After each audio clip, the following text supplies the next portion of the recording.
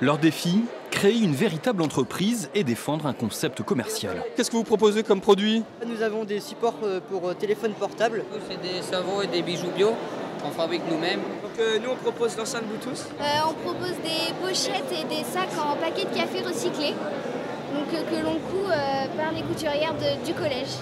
D'un stand à l'autre, on passe donc d'une machine à coudre à une imprimante 3D, car ces collégiens ne manquent décidément pas d'imagination.